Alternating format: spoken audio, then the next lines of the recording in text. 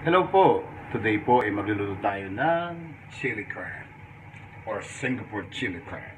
So ito po ang mga rekado natin. Gagamit tayo ng onion, gamit tayo ng green onion, ng um, green chili pepper, minced garlic, um, minced ginger, gamit tayo ng ketchup, um, chili paste, um, soy sauce, oyster sauce, saka mantika or oil para pang um, pang fry natin. At ito pa po yung iba.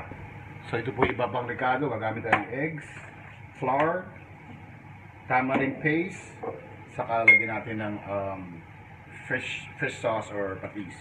Balikan ko po kayo. So una ko pong gagawin is bubudburan ko po itong ng flour, yung ating crab. Dahil ipiprito natin to. Then, mimix ko lang to. Then, pagkatapos ko po makoat siya ng ano, ah, flour, lagyan po natin siya ng eggs. Then, nahalo-haluin ko lang din ulit. So, nagpainit po ako ng mantika. Then, lalagay ko na po yung ating crab.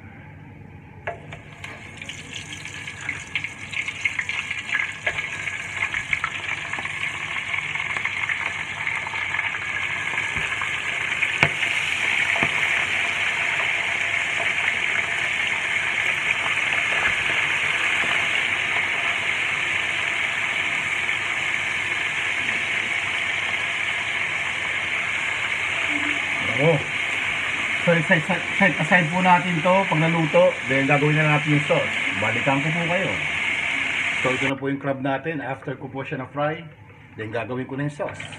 So, ito po, pinagpainit ako ng mantika. Gagawin na natin yung sauce natin. Marami akong ginamit na garlic, na mince. Same thing na gagawin ko sa ah, ginger. Marami rin akong gagamitin para sa sauce niya.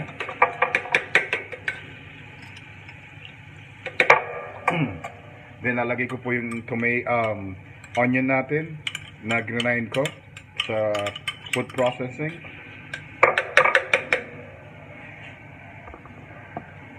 Then lalagay ko na rin po yung hot chili natin o green chili. Balikan ko po kayo. So next ko pong gagawin is lalagyan ko siya ng soy sauce. Then oyster sauce. Mm. Then lalagyan ko siya ng ketchup. Then maglalagay din tayo ng hot chili.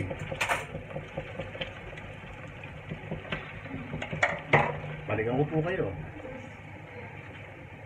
Then lastly po, ilalagyan ko siya ng tamarind na isang scoop. Tamarind paste. Lagyan ko siya siguro mga 2 scoop ng sugar. Then, lalagyan ko po siya ng um, fish sauce. Mga 1 tablespoon. Balikan ko po kayo pag pinaprepare ko na. Nagluto na siya. So, ito po na prito natin na chili crab. I mean, crab. Lalagyan po natin ng sauce na ginawa natin.